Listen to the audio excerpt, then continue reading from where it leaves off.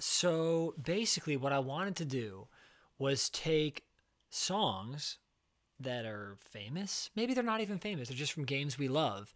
Hey, Alicia. Hey, DMC. Hey, Laura. Uh, and we're going to uh, just analyze them harmonically. Any questions that come up, we'll talk about that. Uh, but also, uh, we're going to see where it goes as far as inspiration improvisationally. So we're gonna we're gonna be led by the music right now. The first thing I want to do though is have you guys tell me which Mega Man game you want to hear a song from.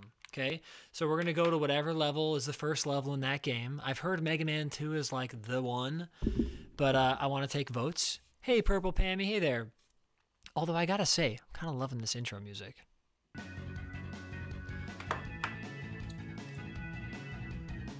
So the first thing that comes to mind when I hear a song like this, let's start here. Oh yeah.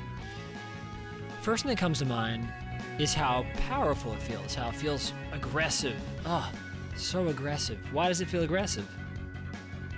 I know we're just diving right in. Um, so here's why. This song is completely diatonic. There is not one note that does not occur from the key the song is in. So the song's in C sharp minor. So let's listen to it. I'm gonna draw some stuff out get right in. So, if you were to hear a note, we're just messing around with this intro until people come in. If you were hearing this intro, which is in the key of C sharp minor, that's four sharps. Okay. If I if you heard this note, no, no, no, that's an A sharp. We wouldn't want that because that's not one of the sharps provided by the key. If I heard a C natural, again, we wouldn't want that to make it sound powerful. This sounds powerful and rooted. So every note we're hearing is from this key. So if I were to draw out this key, and you don't have to read music to understand this, I'll say it verbally.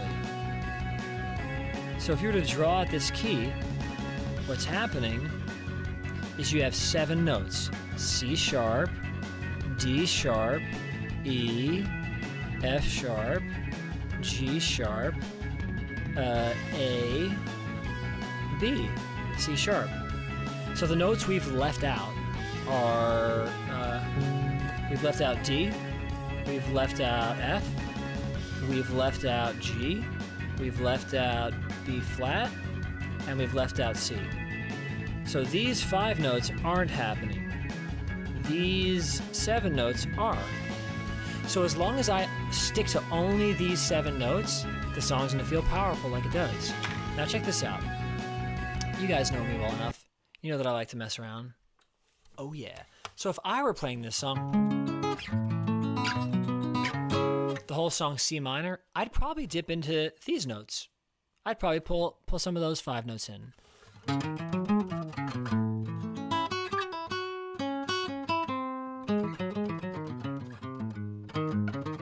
So all those notes you heard that stood out, I played a C. I played an A natural. So if I use, um, or I'm sorry, an A sharp. So if I use an A natural, A sharp, which is B flat, or a C, I start to step into this non-power center. But they wanted this song to feel like Mega Man, someone you can stand behind. He's someone to make you feel strong. So what are the chord changes in this song? Oh, hey, there we go. So that's another thing. So when I look at these chord changes, these are very, very common chord changes. This is like Lady Gaga's Bad Romance, you know, and a bunch of other songs. So we got uh we got this. This is what's happening harmonically.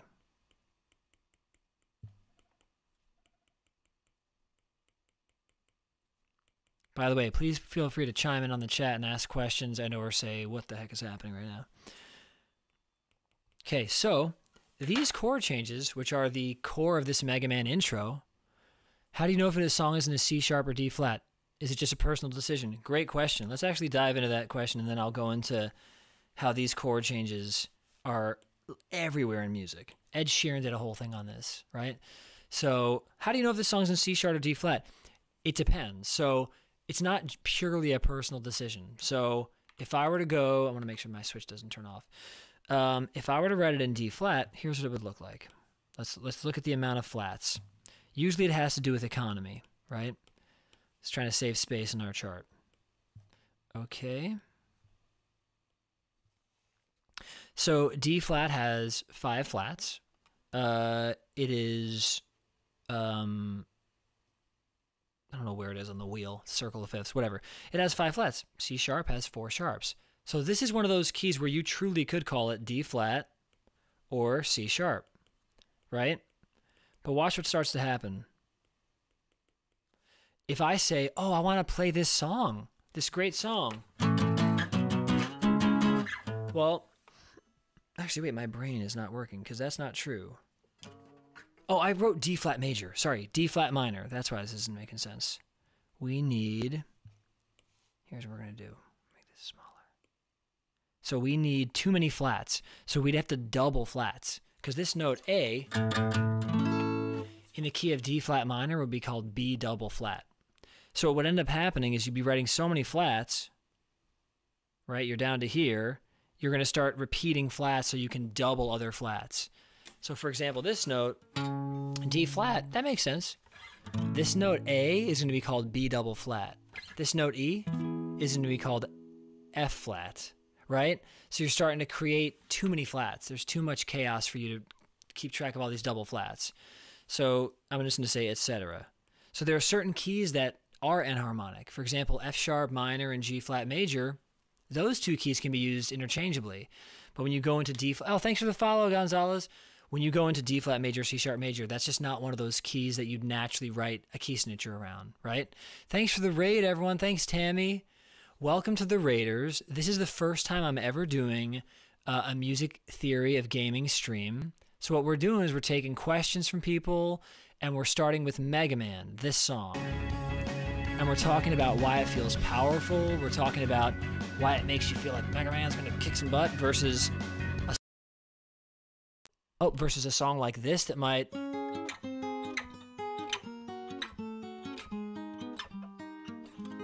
doesn't feel very powerful, but that feels powerful. Why? So we're investigating that. And the first question was, why is the song in C sharp minor and not D flat major? And the answer is D flat, I'm sorry, D flat minor. The reason is D flat minor is from the key of F flat major, which isn't a natural major key. So we'd have too many flats, there would be too many flats happening. So we call this C sharp major. And these are the notes we're allowed to choose from. These seven notes, right? These five notes are not in the key of C sharp. By the way, can we just talk about something? I wrote major, but I meant minor. So, crap. Crap. Uh, I blew it. Just kidding. Um, so, so these are our five notes we're not going to see in D, uh, C sharp minor. We're not going to see these five notes. We will see those seven notes. So let's look at the song. This song is going to stay powerful, stay rooted, stay grounded by using only those seven notes. The second I start to pull in one of these notes, I think that sounds cool. It's very jazzy. These are nice things, but it's not going to make us sound powerful. And the composer for Mega Man figured, let's make him sound powerful. I mean, his name's not Nuance Man, it's Mega Man. So, all right, so so there's an F sharp minor chord, which again is totally diatonic to C sharp minor. So we're charting out this song, and we're going to talk about how these chords happen all the times in songs you love. Okay? Oh, thanks, Tammy. Okay, so A, B, C sharp minor for two bars. That repeats twice. F sharp minor. One, two, three, four. Four bars of that. Two bars of A. and then kind of C sharp minor, but it's like suspended. Okay, so let's disregard this second staff for the for the moment. Let's look at these first three chords that happen. So where have we heard those chords happen in music, right? Here's a really obvious example. Um, ah, it's too high. I want, I want, I want your love, I want your lover's revenge. You and me could write a bad romance. Then it goes to E which this song, uh, this song doesn't do. But those first three chords are in Bad Romance. I want your love, I want your lover's revenge. You and me could write a bad romance. Oh, oh, oh, oh, oh. caught in a bad romance. Oh, oh, oh, caught in a bad romance. Now here's the thing. I played the chords from this Mega Man song just now. Lady Gaga ends up doing a different chord before the finality of the song. So she goes, I want your love, I want your love, it's revenge. You and me could write a bad romance. She resolves to E. Why doesn't Mega Man? Because they're trying to get you excited about this game. If you hear resolution at the beginning of your game, ah, ah so happy. Even Super Mario Brothers. Ah. It's, it still doesn't resolve. It ends on the five chord. There's no proper resolution because if you're playing a video game and it resolves the first second, your brain's being told there's no challenge here. There's no game. It's over. Very rarely will you see a film score where a film, the move, the song opens up with with true resolution. Even like Forrest Gump, you know. Uh,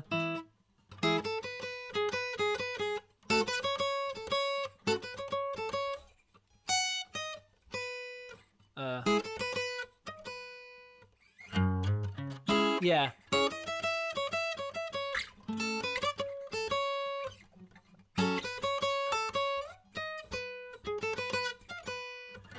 It ends on a five chord, really. It doesn't go, uh.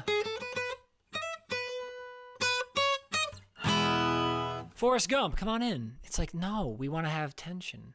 Maybe the very end of the movie will have a. And maybe then it'll resolve finally, right?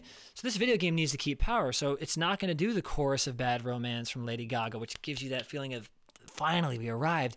You know, maybe it wasn't a bad romance. This song is saying, let's stay minor.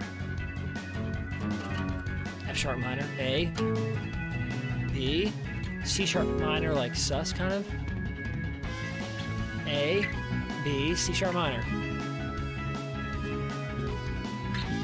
Right? So, long story short, this is how you write a piece for a game called Mega Man if you want to get excitable. Now, what do we do with this? This is my first ever music theory of gaming stream, so I'm, you know, kind of feeling it out here. But what do I do with these chords? How, how does that matter to me at all? So for me, it matters for a few reasons. One, if I'm improvising, so if I want to take the Mega Man song and go like this for you guys.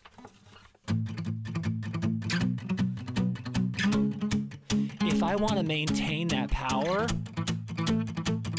I have one simple thing to do. A, follow the chord changes. A, B, C sharp, right?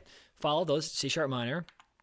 And two, make sure every single melody note I hit is from the key of C sharp minor. Those notes are C sharp, D sharp, E, F sharp, G sharp, A, B, C sharp. Okay?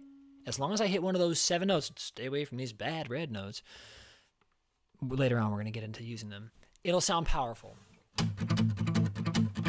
Because it sounds like I'm rooted in the world this composer wrote.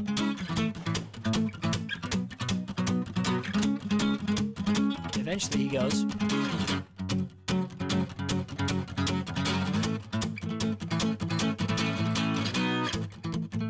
Here's how, if I was singing a solo over it, I might go.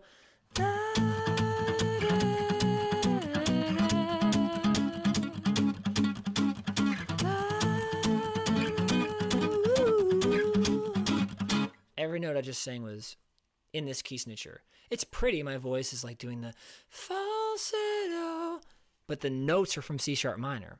Watch what happens if I hit one of these five notes. Watch how immediately the power gets stripped, right?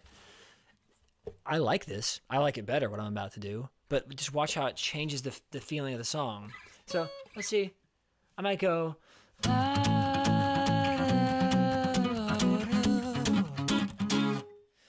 I sang. Uh, a C sharp C.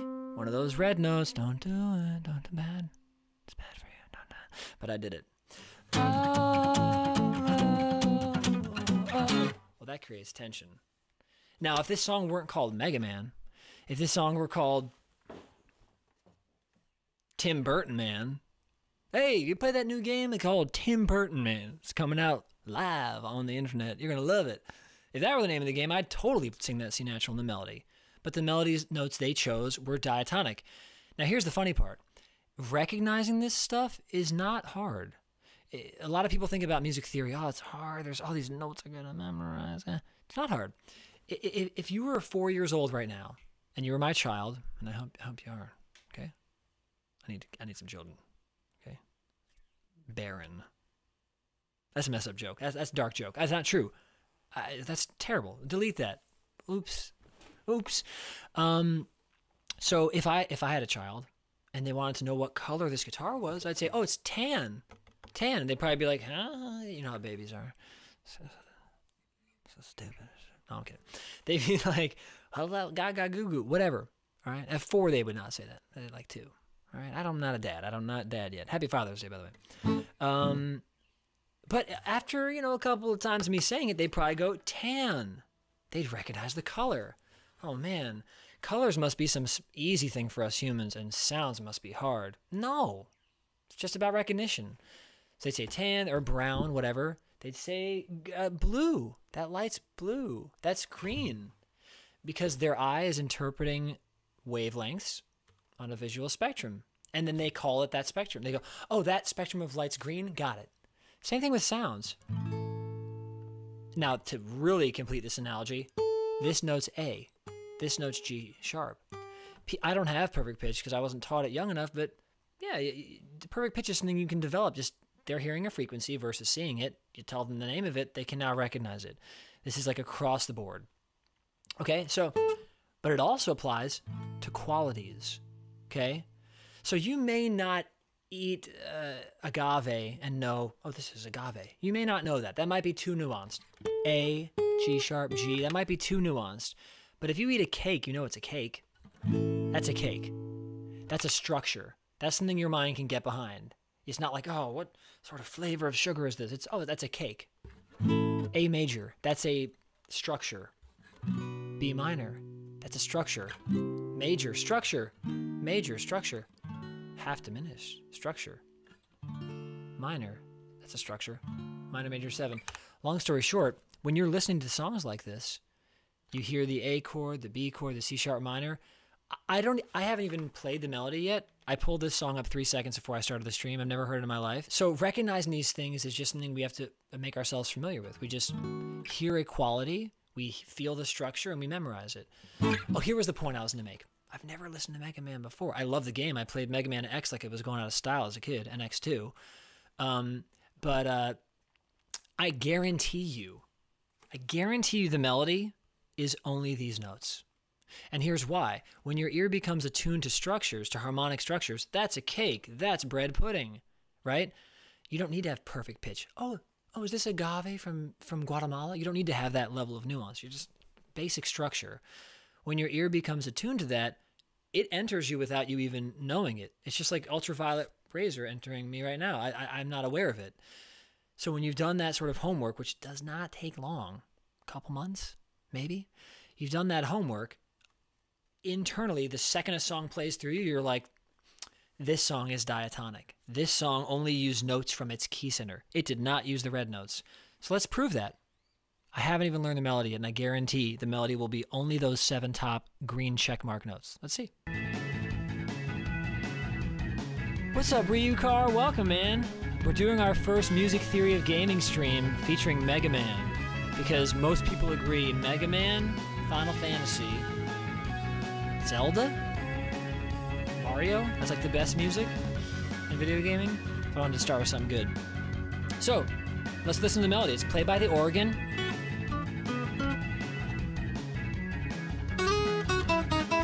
Great.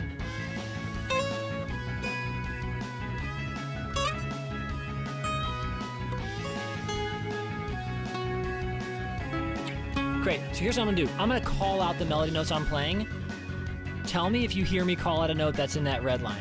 You won't.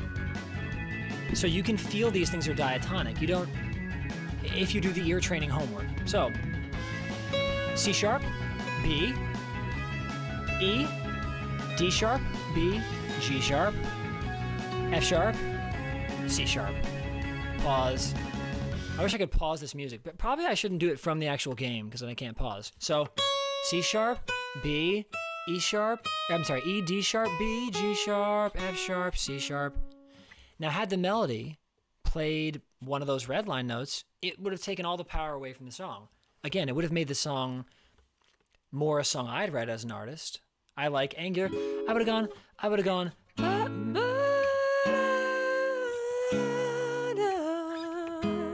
Then I probably would have gone. So I'd have a lot of hmm. dissonance. I'd have some B flats in there, some C's, why not? But this song is about Mega Man. Power. He's powerful. We must use diatonic notes. What I've learned from music theory, which is why I love it so much, is that everything in life is relative. So I don't actually let me rephrase that.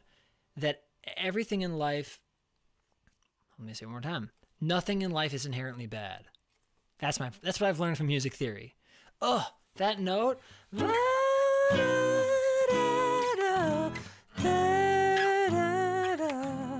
Or sorry.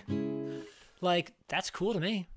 It's not a note I should hit, but the shoulds and woulds, we remove that in music theory. This green check mark and the red X have nothing to do with good or bad. They have to do with these are the diatonic notes from the key, the red ones are not. So if you want to sound powerful and sound rooted and sound grounded, do the green notes. If you want to sound unique and different and like a guy who wears a scarf and an open button shirt on a Twitch stream about music theory, feel free to use the red notes. You, you dig? So let's hear the organ melody. Again, I guarantee it's no red notes. You can just feel it in your body. It's sort of like um, if I were to eat that cake we were talking about earlier. What if I gave you a cake? And I was like, hey, yeah, this is a great cake. It's awesome. Um, you'll notice it's garnished with uh, uh, cherries. Uh, oh, thanks, man. I love cherries on cake. It's awesome. Got a little bit of uh, a vanilla sweet cream, cream, you know, ice or a cream frosting on it. Wow, fantastic. And I have added some beef tartare on top. What's wrong with you? That's the red lines. You can do that artistically. I do that all the time. But it's like, wait, some something's missing here. You, you bite into the cake, you're like, which people, you know, make noises when they eat. Uh, you'd go, oh, what the hell is wrong with this? There's rotten meat in here. No, no, it's actually not rotten. It's uh, raw, but it's yeah, put it in your cake. Well, I I noticed that right away. Same thing with our ears. If you've developed this tool, right, which you can in like a, a week, couple weeks, a month, of just recognizing that's blue, that's green, that's minor, that's major, that's major, that's minor, you know? So, let's listen to the organ melody. Let's see if I was right. Oh, I hope I am. I am.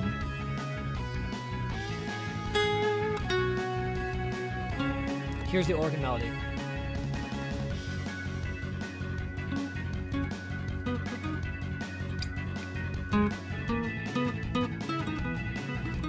Okay, well, I, I didn't hear it well enough. Me. Okay, it's repeating.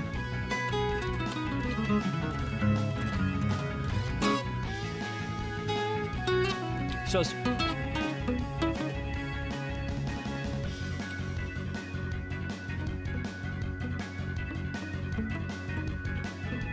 Uh, I'm not messing up.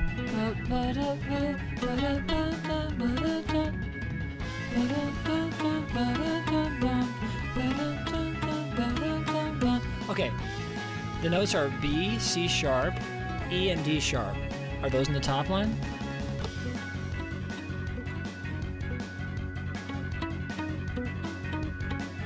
Great. So the melody is ah. And then it goes back to the whatever. Those notes are B, C sharp, E, D sharp. I rest my case. Dang it, Dad. On Father's Day, of all things, to disrespect me. Shout out to my dad. For all the love, kindness. Thank you so much, sir. Thank you, sir. All right, so um where do we go from here? We're done. I'm never doing another stream like this again. We finished, we graduated. Just kidding. We go from here is we figure out a way to put this into our music. So the most important thing for me with music theory, with trying to learn and grow, is okay, so let's say a chef, to use the cake analogy, taught me about this cake that did not have beef tartar. It had tasty, delicious things. And he he gave me uh, this delicious treat, and I said, "Oh, this is awesome! I want to make this again." So he teaches me how to make it. I understand the structure of it. Oh, you used agave from Guatemala. Cool. You used sweet cream. Cool. I like that flavor. I'm to go away. I'm to make that cake again. So I'll practice it.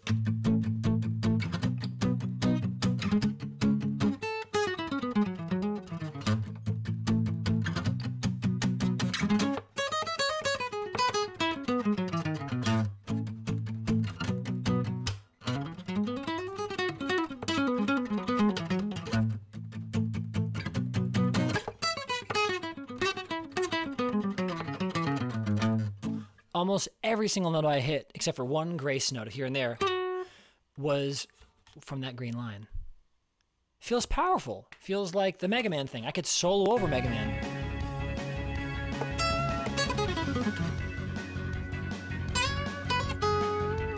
Using the Zane method that I was taught on this channel. Only use those seven notes.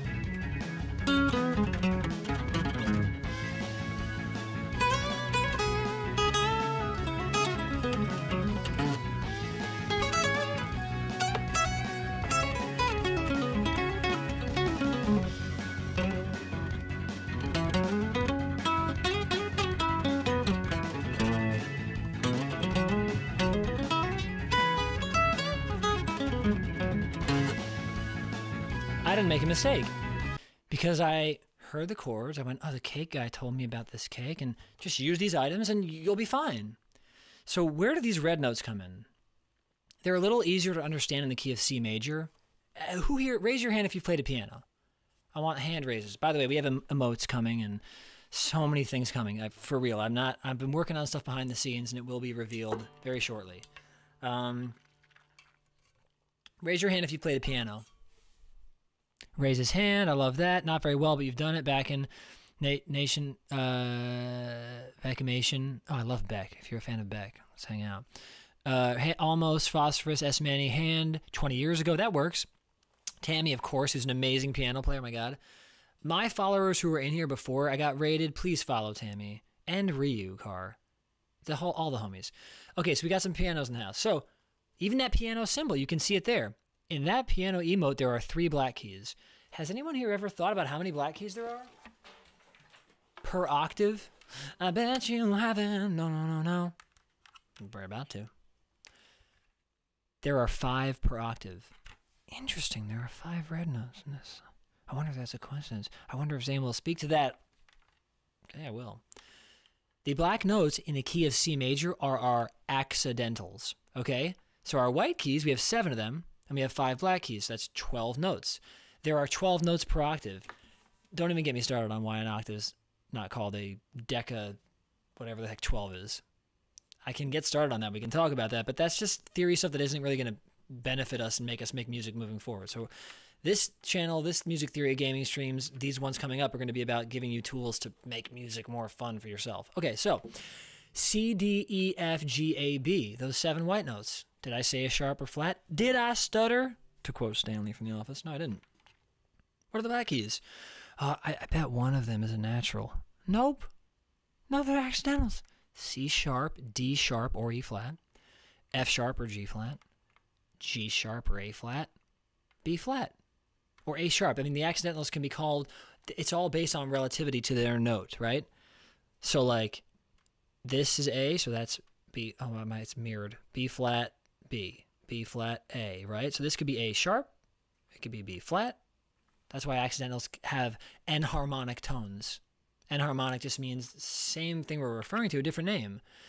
What is that cake? It's good. What is, what is that cake? It's great. We're both talking about the cake. Good, great, whatever. It's it's about how it tasted good. Tasted correct to our mouth at that moment. In that given time. For our pleasure. Thank you. So, the accidentals shift. So in the key of C, it's so obvious. The black keys are our accidentals. If you're soloing in the key of C major, Okay, if this song were written in the key of C major, this would be so much easier for you. It's written in C sharp minor. What's our major key that that's relative to? E major. That's four sharps. We're in a whole different land now. But the bottom line is we still have five accidentals per major key. Right? So if I stay away from those, I'm going to sound like I'm totally soloing in the Mega Man vibe. Now here's the problem. You get someone like me who loves jazz, who loves non-major scales. I love melodic minor modes. I love uh, superimposing Lydian or Mixolydian modes over my major key. I love all this. I love whole tone scale.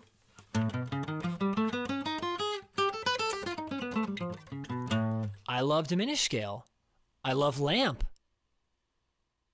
Okay. A quote from a nice movie. I like diminished scales. I like harmonic minor. I like all these scales, but most people are going to want to stay in that major scale, okay? So let's see what happens if I take the scales that I love and start to superimpose them over Mega Man. Oh, double harmonic minor, don't get me started. Saxon, I like that. Appreciate that. Also, Chaos Dragon, who is moderating my streams, has been here the whole time. Okay. All right. Got that. so, I'm going to use some of those red notes. Let's see what happens.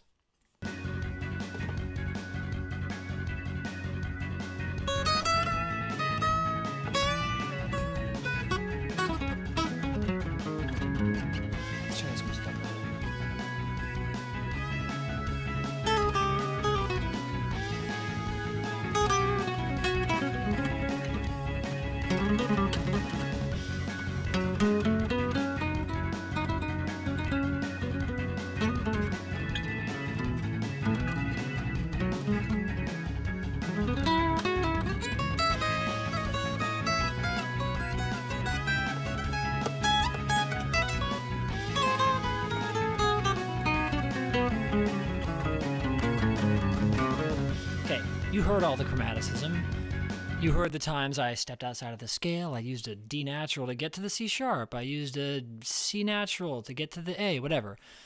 Um, so, and this is a weird song to solo over because you already have a melody. You already have the really pounding rhythm. So it's tough to find space to do some of these weird notes.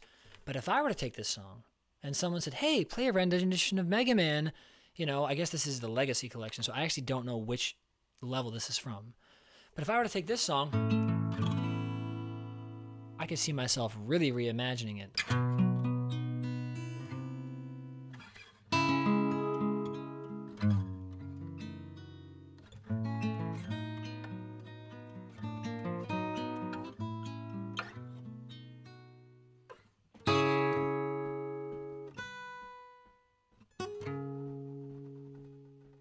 Or no, what was it? Was it? What was the melody? Shit, I forgot the melody.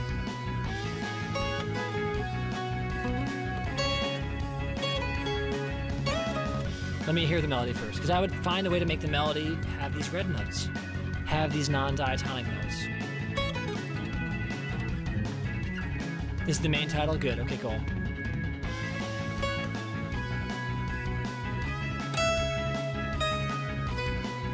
Thanks for the follow, uh, Beckhamation. So I might go.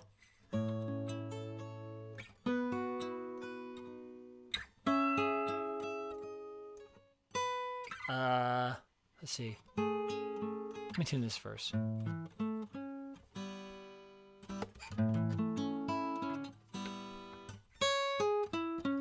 Great. So I'd go.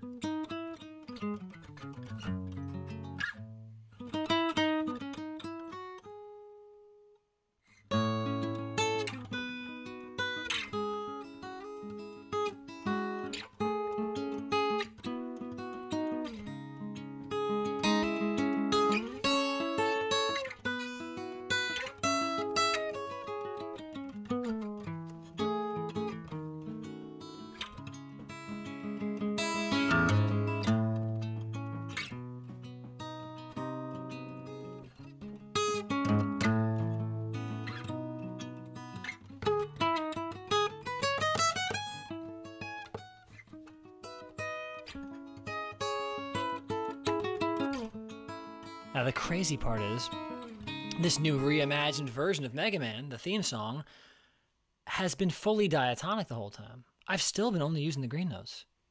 except for a few moments like that. So if I wanted to reimagine and go into this red land, right? These these these uh, accidentals, here's what would start happening. And it gets this is where jazz I think turns people off and I think it should draw people in. So I'm going to start playing notes. I'm not going to go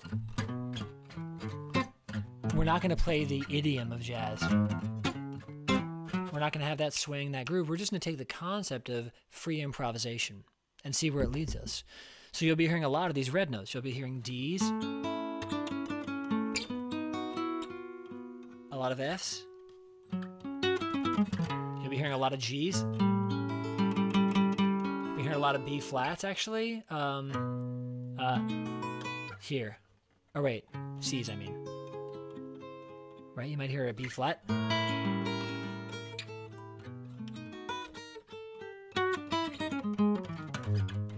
So you hear a lot of those notes. Let's see what happens.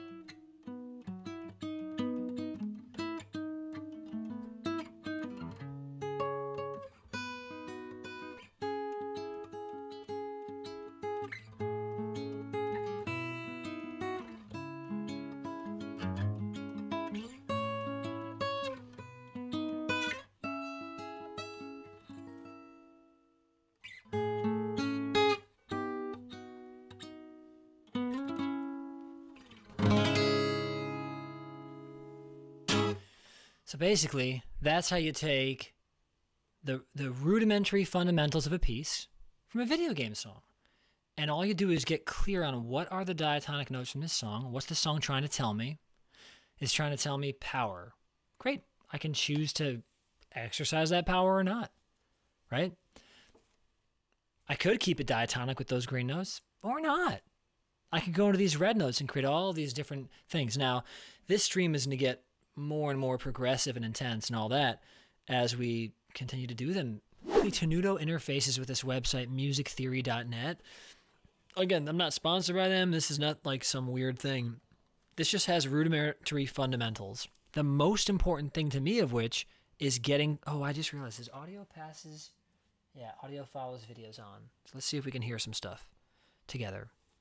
I don't know if we'll be able to unless I turn this audio on. So give me a moment here. We're going through Blackmagic Design. We're adding that as an audio source. It's coming through stereo. Fantastic. Let's see. This may be a bit loud, so let's turn it down to start. And we'll do ear training, okay? Interval ear training. You guys hear that, don't you? Raise your hand if you hear that, because I'm seeing that you hear that. Laura loves Tenuto. Tenuto's the best. So, yep, great. So, we'll hear this interval. Wait, why is it skipping? Ba-dum. don't know what that's about.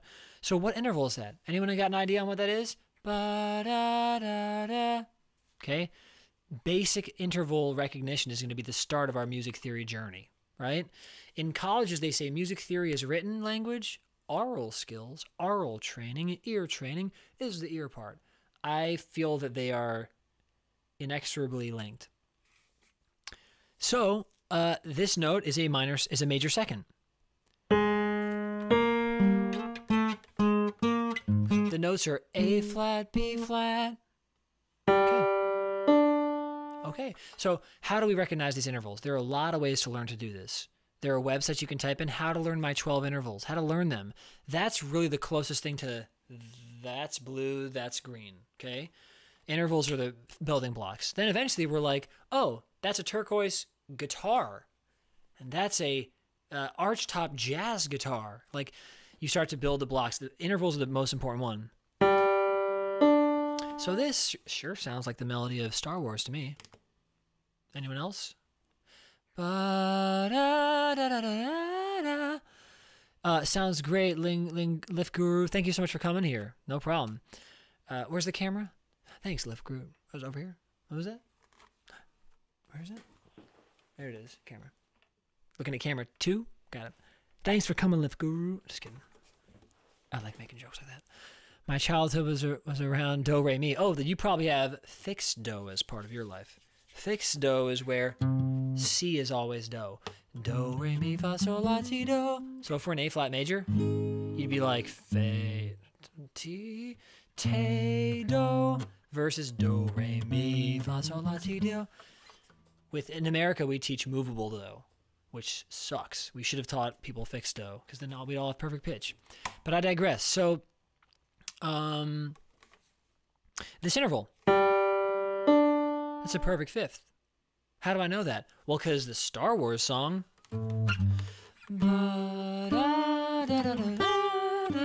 That's a perfect fifth. So this melody, that first interval is perfect fifth in that song. So let's see if I was right. Oh, I hope I'm right. I know I'm right. Okay. Oh, that's a fun one. That's a very fun one. See, Chaos is giving me hate, man. No, but the funny thing is, Chaos is being funny. Because Chaos also has this command. Watch this. I'm to go like, ba, ba, ba, ba, ba, ba, ba, hey. Yeah, he's to get an a million point channel reward when he admits it. he knows it. Okay, he knows it to be true. So, um, so that interval, uh, is a fun one. Oh, devil's lettuce. Am I right? Um, which I think is a, a, a euphemism for weed. Anyway, that's a tritone. I don't actually remember which song has that, but that perfectly splits the octave. Thank you, Liffy Guru. So if you're looking at this, that would be so C sharp to F sharp, C sharp to G. Great. So if I were to take that note, I would split the octave. Let's say it was on C, okay? So C to F sharp, that perfectly splits our octave. C, F sharp. Because then up here, my brain is not working. That's not C. I was looking at reverse. Here we go. Okay, let's, let's zoom in. C, F sharp. And then the high C is here. It's, it's so hard to do this in reverse. Okay, C, F sharp, C. This note is the same distance from this note, okay, going down, as this note is from this note, C to F sharp. So this is what is called our tritone. It splits the, yeah, oh, Black Sabbath, you're right. Good point, Fabio. Thank you. It splits our octave perfectly. Some call it the devil's interval. Okay. I don't even know what to say about that. Uh, this is also, um, yeah, you're right. He's right. Fabio's right. It is Black Sabbath.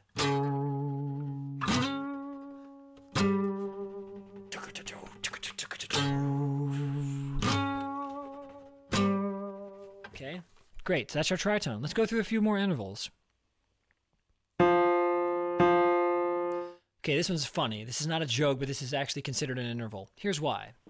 If I have this pencil here and this guitar pick here, okay, they're about I don't know, 15 inches away from each other, okay? That's a unit of measurement, that interval. That interval, that distance, right? About 15 inches. Now they're probably about three inches away. Now, they're in the same place. The same place is a unit of measurement. Yeah, they're in the same place. You wouldn't say, you wouldn't say, okay, they're 15 inches, they're three inches. Oh, they don't exist. They don't exist anymore. Where'd they go? Where'd they go? You'd be like, no, they still exist. They're just in the same place. This interval is the same note played twice. It's called a unison. Why does that matter? Because if I do this, or let's do it lower, and then my voice goes la, these, this instrument and this instrument are performing in unison. La, that is an interval. If I go away from that interval up a half step to a minor second, la, now we get dissonance. La, but this is unison. La, there it is. It's weird and dissonant and it's not. That's our unison. This interval is a unison.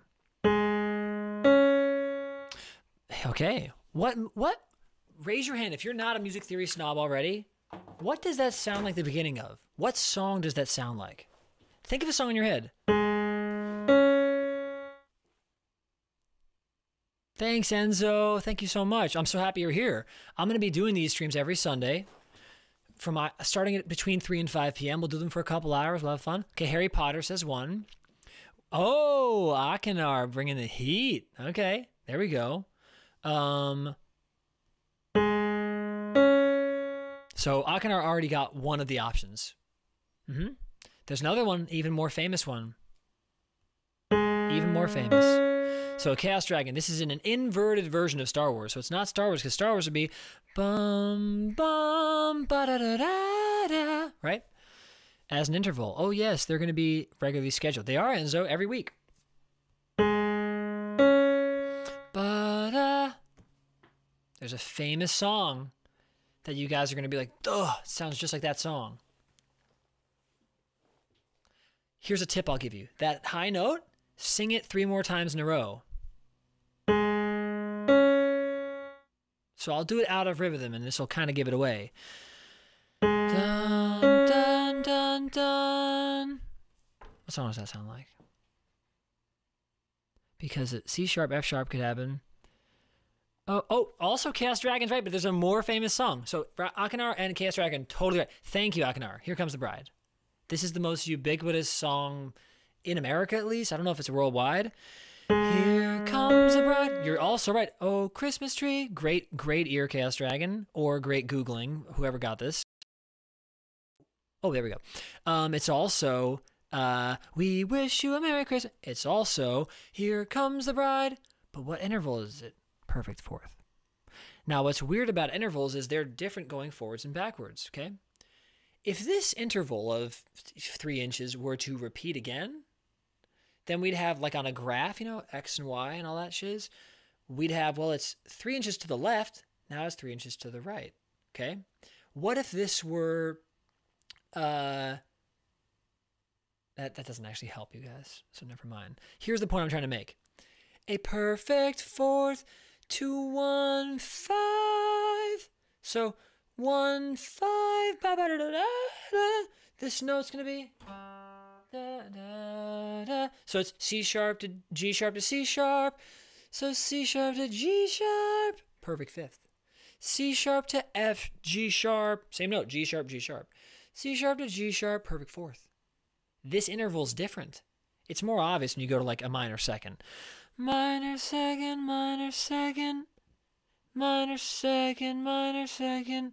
It's like this is C, C, or sorry. Yeah, C sharp, D, C sharp, C. But this is a minor second, this is a major seventh. So the units of measurement get thrown off by, because really what's happening is minor second, major seventh. You know, we'll get more into intervals some other day, like deeper in that way. Long story short, perfect fourth. This is a perfect fourth. That's, I almost gave it away. What song does that sound like? Riddle me that, Batman. Okay, I love Batman. Okay, he's my inspiration and, my truth. Right?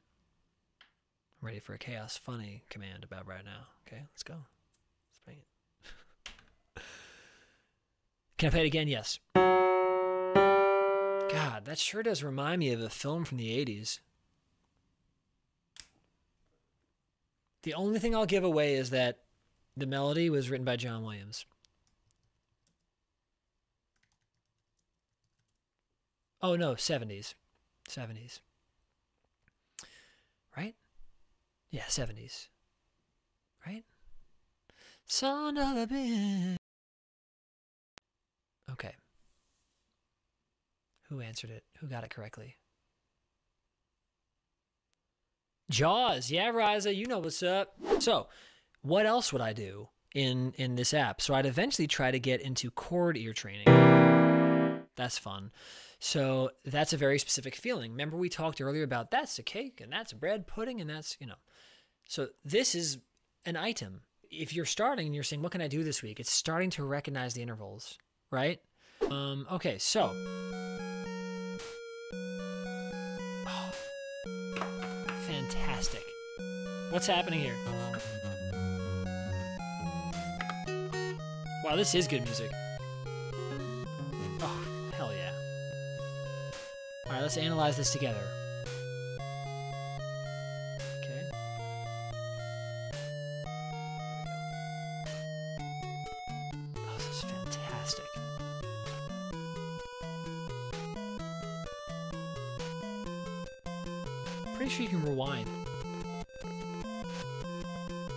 Yeah, I'm gonna rewind this music.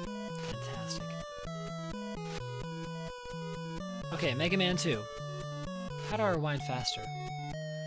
Alright, so you're gonna love. You're gonna love this. So I'm gonna analyze this for us, and then we're gonna talk about what's happening. Okay? I'm rewinding all as far as I can. Okay.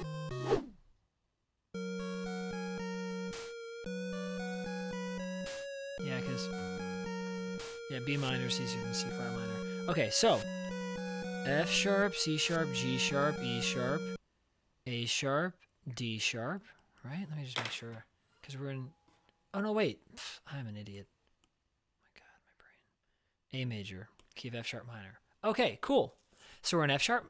No, we're in F sharp major though, aren't we? Yeah, we're in F sharp major. No, I'm not an idiot. All right. C sharp, G sharp, D sharp, A sharp, E sharp. Why is my brain not working today? Okay, F sharp major. One, two, three, four, five, six. Should be six. Good. Oh, right, because you write it down here. Okay, cool. So, F sharp major. Okay, so the first chord is F sharp. Ready? Oh, did I rewind too much? Here we go.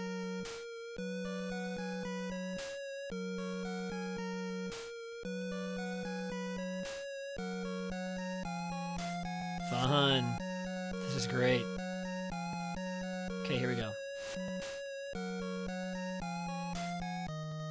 C sharp over E sharp.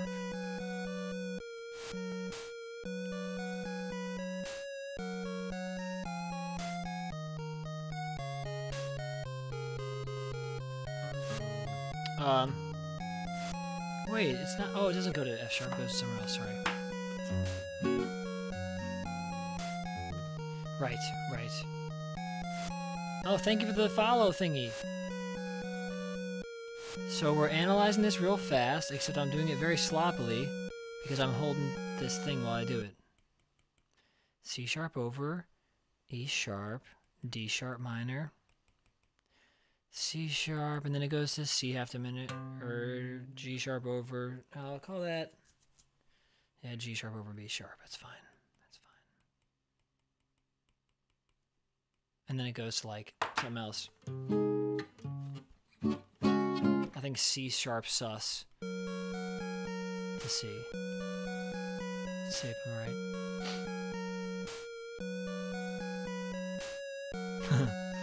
Are you an idiot or not?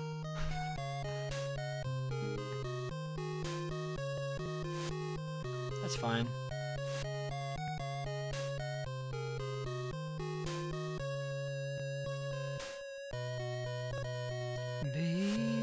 You know, yeah, we kind of, I could, kind of should have done this in G flat major.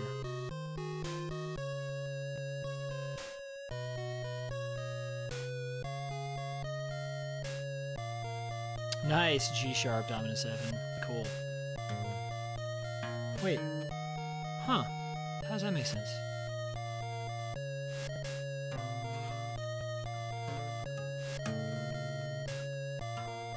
Oh, right. Sorry, y'all.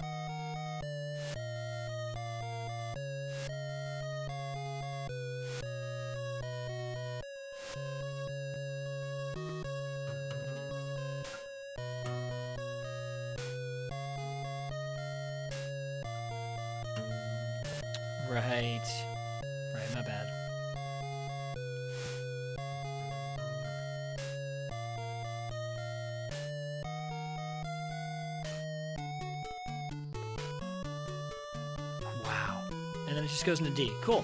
All right, so this intro song, here's what's happening harmonically.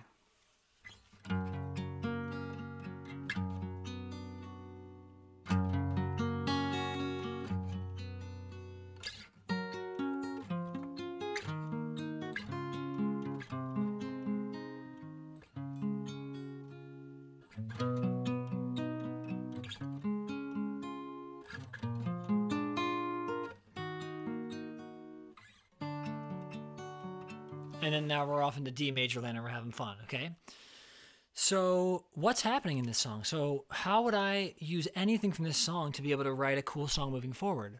Well, the first thing I would do is try to recognize the chord changes. So, we've started with intervals in Tenuto, you know, that's like the homework for this week is getting clear on intervals, right?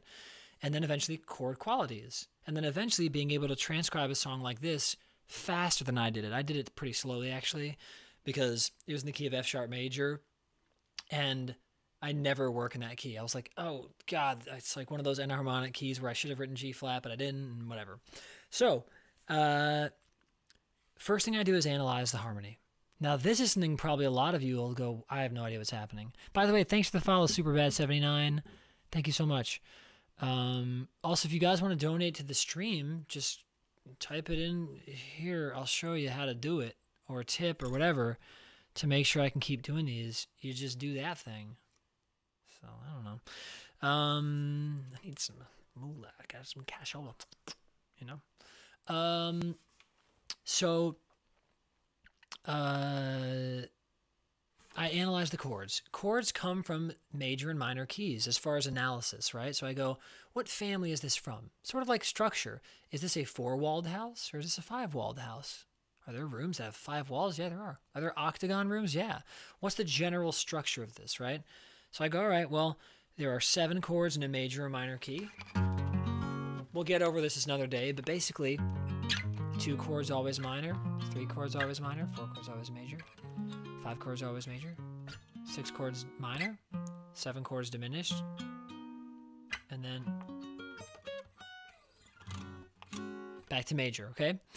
So I'm going to figure out where do these chords live in the key of F sharp uh, major. Let's figure it out together. So I'll go one, minor four. Ah, we're borrowing from the key of F sharp minor. Cool. Oh, that's great. Thanks, Chaos Dragon. Go back to one. There's my four, minor. By the way, we're going to finish the stream in the next 20 to 30, maybe 15 minutes. So make sure you guys let me know what you want my next uh, music theory of gaming stream to be. I could put up a poll right now, you know, those fancy poll things, and that might be smart. Add existing, poll. Could be smart to have a poll in here. Let me go to Streamlabs real quick.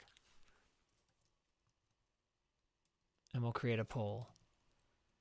Because I'd like to hear. I mean, we could do Aladdin. Someone said that before, but the problem with Aladdin is that was written by Alan Menken for a movie. So it's not really a video game score. But it's such a great score. But do I not? I don't know. Maybe I'll figure this out later. But I'd love to hear your ideas. Oh, Legend of Zelda's great. That's great.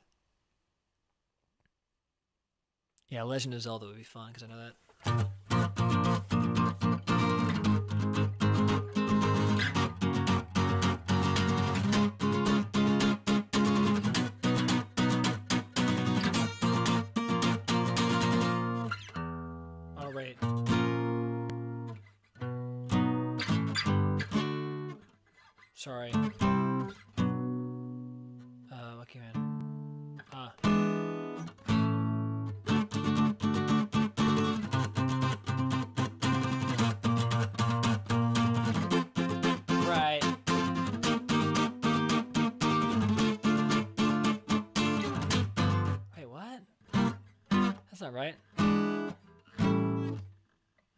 Oh, right, E, right, right.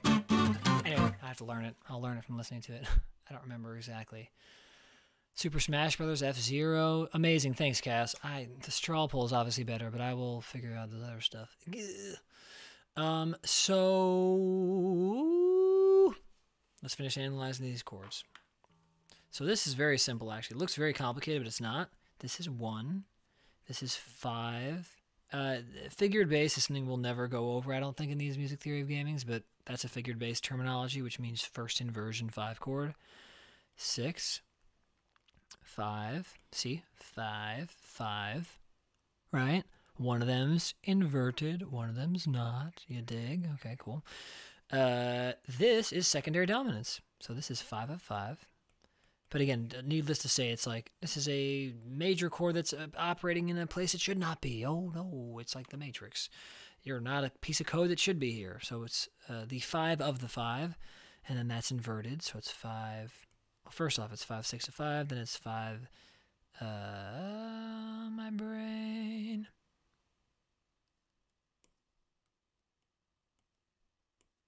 Why is my brain blanking on second inversion triads? Five six, five six five. No, that's that's dominant seven.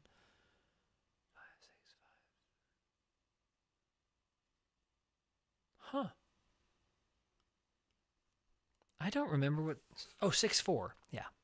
Thank you. Five six four five. Again, won't matter for us. Cool. Five. And that's not really sus. I thought it was. So here's the most important part. We're looking for moments where this sort of stuff happens. And in fact, I'll make it a different color so you guys know what the heck's going on. So when it turns orange or purple, it's like, whoa oh, we're borrowing from the relative minor. It's like in Legend of Zelda, the Link to the Past, when he goes to the underworld. Everything looks the same, is in the same place, but there are slight differences. Now her her coat's purple. Now this thing is dark, and there's a bat when there used to be a bird. Things like that. So these purple things mean, oh, we're stepping outside the key. We're going to the parallel minor. Uh-oh. And then I'll make this color for secondary dominants. This color will be mm, orange. This is secondary dominants. Five, six of five. And this will be five, six, four of five. Okay. Ya dig. Okay, we're back to five. Back to the key we know and love. Red, purple, orange. Great. So then we're going to go here. This is the four chord. Notice how this four is major, whereas this one's minor. It's purple from a different key, from the key of F sharp minor. So four, five, uh oh, secondary dominants. Five, seven of six. Uh, six. And then six. You'll find this happens a lot secondary dominant chords resolve to the key, the chord they're trying to go to. And then this really truly is just a key change. Now we're in D. And that's the one chord. Okay, so what how does this matter at all? How am I going to use this musically? Here's how. If I hear Mega Man 2 and I'm like, dude, I want to do a remix of it. I want to do an arrangement of it. Uh, first off, I need to know the chords, the structure, the harmonic structure, and how sometimes it steps outside.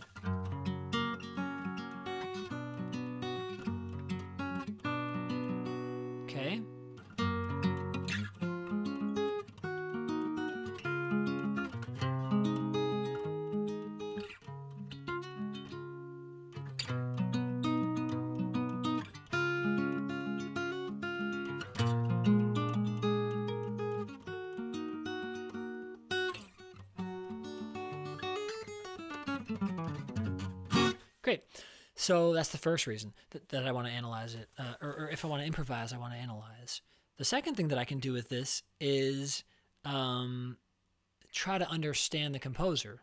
So when you hear the beginning song, it's like, oh, it feels so like ethereal. Mega Man 1 came out, power, power. Mega Man 2 came out, it's like, whoa, it's like a new land. It's not just.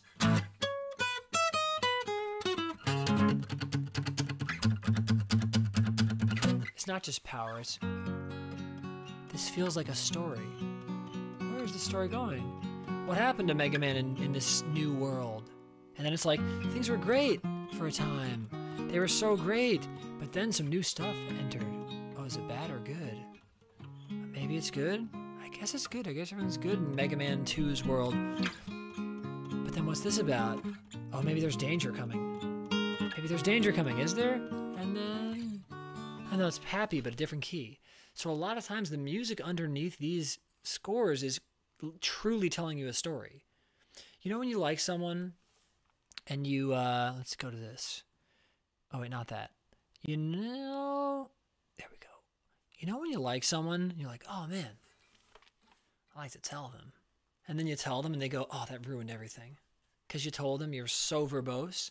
Let's say you uh let's say you were um you really liked them, but you didn't you didn't want to beat them over the head with it, and they didn't have time for that. They weren't trying to hear your diatribe. Maybe you buy them flowers. Oh, now maybe they're like, I like them. You told them much more than your diatribe with those a single gesture, right? So music in our video games, when we go, man, Zelda's so epic. Oh man, such an epic game. Well, take the music away and look at the NES game and truly tell me if you feel that game is epic. I don't think you will. Uh, oh, so so point is these musical things truly create the feeling of epicness for Zelda. You know, Super Mario.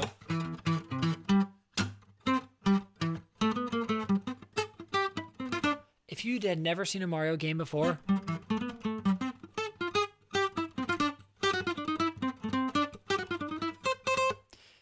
you think it's quirky. It's fun. He's a fun guy. And we can do more Mega Man stuff moving forward. But long story short is watch a film tonight or play Animal Crossing. Animal Crossing has some great music, by the way. We could do that too. Um, yeah, exactly. Uh, but um, I highly recommend uh, just considering and noticing how the music truly is affecting you. And then maybe bring it into one of these sessions. Tell me to look at it, listen to it a video game though. We want to make it gaming because we're on Twitch, but give me a video game and I'll and you'll and, and you know let me know this song feels so happy. Why? And you'll look, you'll notice this song right here felt ethereal, felt magical. Well, anything that's purple is from the borrowed minor key. Anything that's orange is from a totally different major key. So that creates fun, spice, excitement. Watch, I'll play through these chords again. And whenever a purple chord happens, Tell me if I ain't lying. Tell me I ain't lying. I don't know what the phrase is. Just trust me. You're going to notice that it feels like a mood has shifted. If I were to go.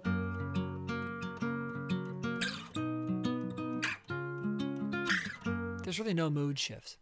If I were to even go. No mood shift. Why? All those chords occur naturally in F sharp major. But this purple chord does not. Those orange chords do not. Purple will make us feel like we're in a dark underworld pulling us down to maybe sadness, maybe pain, whatever it is, you know, depending on the chord you that's uh, accessed. Orange chords will make us feel like maybe there's hope for a new future. Maybe we're going to a new quote unquote major key, right? A new place, new home. Minor, ah, your home got dark. Orange, uh, I'm sorry, purple, minor key. Ah, your home got dark. Orange, oh, are we moving to a new home? Listen, just feel that. You'll feel it. There's our dark home, purple. Here's our dark home, purple. Okay, we're back home. Everything's fine at home. All fine at home. Are we going to a new home? Maybe not. Back home. Are we going to a new home?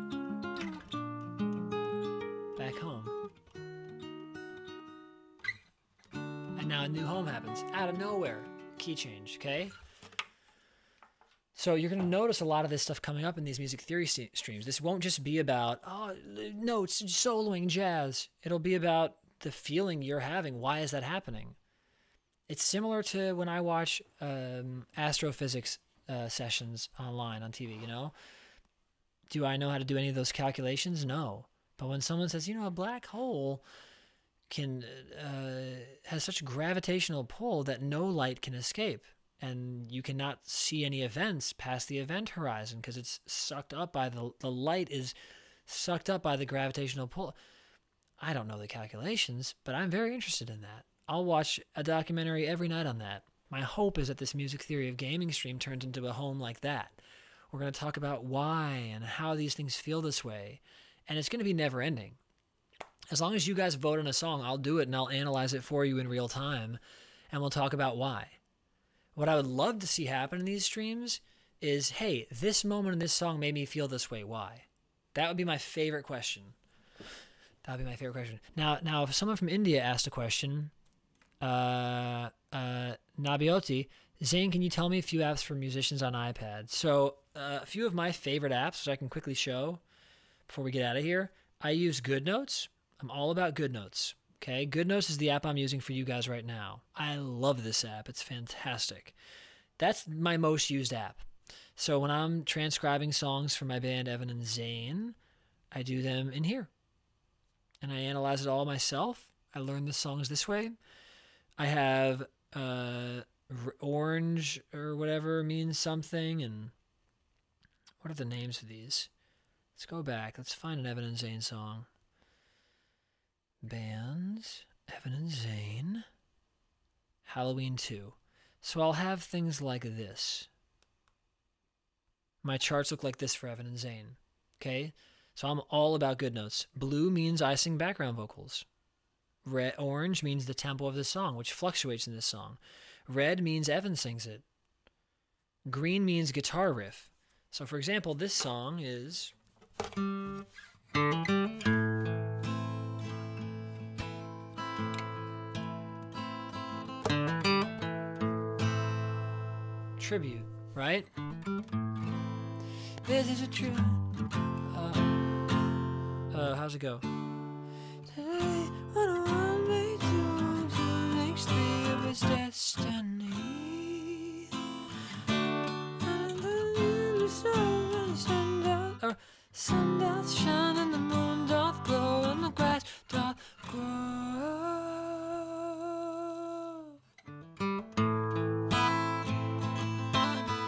Right, so I have this on my staff or on my uh, music stand.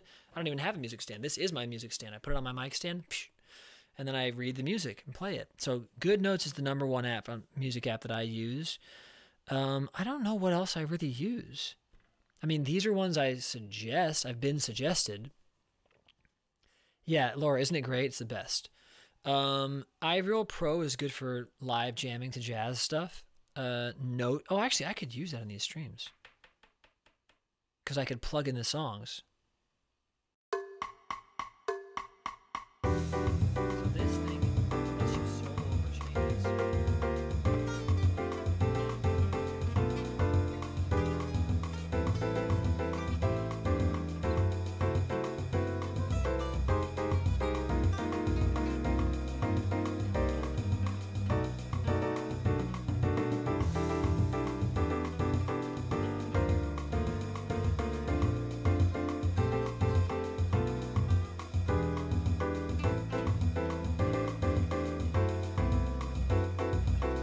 Finished top 10.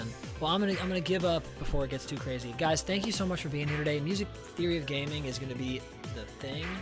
There's no one else doing this on Twitch, and I want this to be the place for nerds. All right, guys, I'll see you um, uh, when? See you tomorrow. Tomorrow at 10 a.m. I'll be doing my acoustic music stream, so that'll be fun. And uh, we're gonna raid somewhere right now. We're gonna raid. Justine Violin again. She's become a homie through Discord, and we're going to raid her, and then maybe she'll raid me one day, and God, Bob's your uncle. Uh, I hope you guys have a great, great Sunday evening, and I'll see you guys tomorrow at 10 a.m. PDT for my acoustic stuff. Can't wait to see you guys tomorrow. Thanks for being here. Thanks for joining from Tammy's stream, from Ryukar's stream. And uh, here comes the raid. Put on your raid gear.